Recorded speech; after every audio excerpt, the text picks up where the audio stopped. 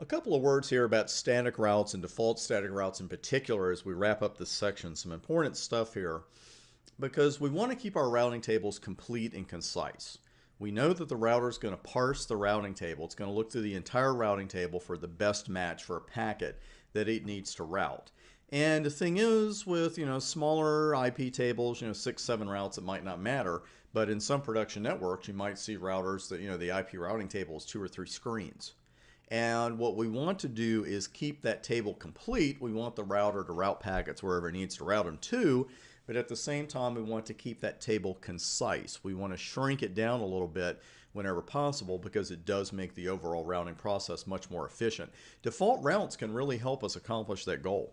And they're so helpful under certain circumstances that our dynamic routing protocols, RIP, EIGRP, OSPF, they'll either allow the creation of a default route or the distribution of a default route under certain circumstances rather than give a router a full routing table. And that's one of those things that sounds pretty vague when you read about it or you hear me talk about it. So let's have an illustration here. and This will really help. Let's say that router 5 is so deep in your network that no matter where it's sending packets to, whether it's an internal network, whether it's going outside your local network, the next hop IP address is always going to be 10116. Whatever packets router 5 has to send through, it's going to go to 10116 no matter what. In this case, it really wouldn't make sense for router 5 to have a huge routing table because whatever it does with that lookup, what's the next hop IP address? 10116. So it would be in our best interest and the best interest of routing on router 5 in particular to give router 5 a default route and just say, okay, you know, any packets you're sending, send them to 10116. And you might not even want to run a routing protocol on router 5 at all. You might just want to give it that one default route, and then that's it.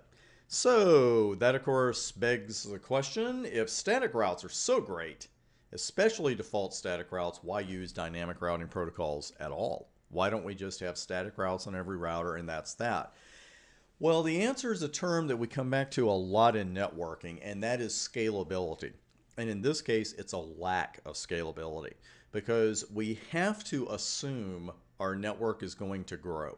We're going to see that during our subnetting section. We're going to see it in some other sections as well, where you can't just always assume, okay, there are going to be 20 hosts on this segment over here, and that's going to be it.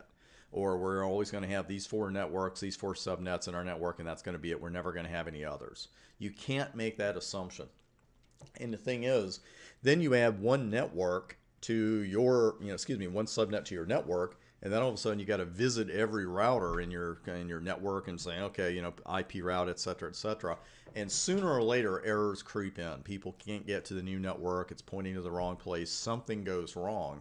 Where dynamic routing protocols with one simple little command, the network command, all of a sudden that new subnet gets added and it gets advertised and it's just a lot more efficient and it's a much more scalable solution. Now I know someone out there is working on a network that has 7,000 static routes and you're, you're sending me a tweet right now. hey, our network works just fine. I know there are networks that use only static routes and that's fine, but it is not a real scalable solution. And that's why we prefer to use dynamic routing protocols. Our networks are going to grow. Now, static routing can be really fine in a pinch and it can be really fine for small networking. You know, you could have something go wrong with the configuration in your dynamic routing protocols, and meanwhile, maybe people can't send their packets outside of your network. Well, while you're fixing that, you could just do a static route quickly and say, okay, all packets go this way, and then that's it. And so again, it's it's it can, they could be used really like a tourniquet. You know, it's like an emergency situation, and they're okay for small networks. But again, it's not terribly friendly to a growing network. And in most of today's networks, you're going to use RIP version 2. Especially, you're going to use EIGRP and especially OSPF. RIP version 2, you're probably not going to see as much of as those other two. But that is going to be the first routing pro protocol that we introduce you to. And that, with a description and plenty of lab work, is coming up in the next section.